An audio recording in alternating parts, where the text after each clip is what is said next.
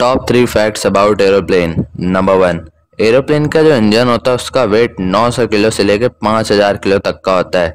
Number two only five percent people अभी तक aeroplane में जा चुके हैं, इस पूरे वर्ल्ड के पॉपुलेशन में।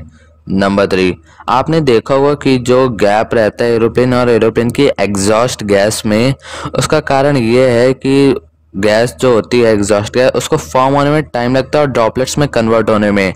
इसलिए हमेशा एरोप्लेन और वेपर ट्रेल्स यानी कि एग्जॉस्ट गैस में डिफरेंस रहता है।